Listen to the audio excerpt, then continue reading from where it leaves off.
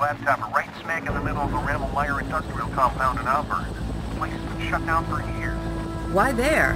Well, it's a little thing. Turns out Armacham bought this site from the government back in the 50s. Get this.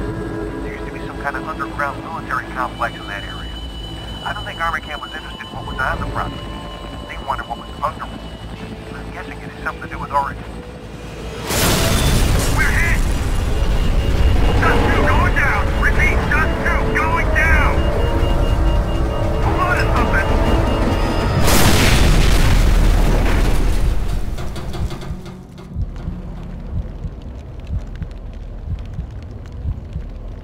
He looks okay, but the pilot's dead and Jin's banged up pretty bad. What about you? I'll live, but it'll be a while before I can ice skate again. All right. In that case, I want you to stay with Jen and wait for the medevac. You sure you want to send him alone? These guys ain't fucking around. We don't have a choice. Fettel could be anywhere, and Alice is out there on her own. By the time backup reaches you, she could be dead. We're still a couple of clicks away from the Ramelmeyer compound, so you're gonna have to get there on foot.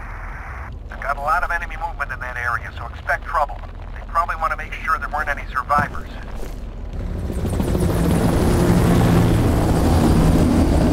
I hear you're a bad motherfucker.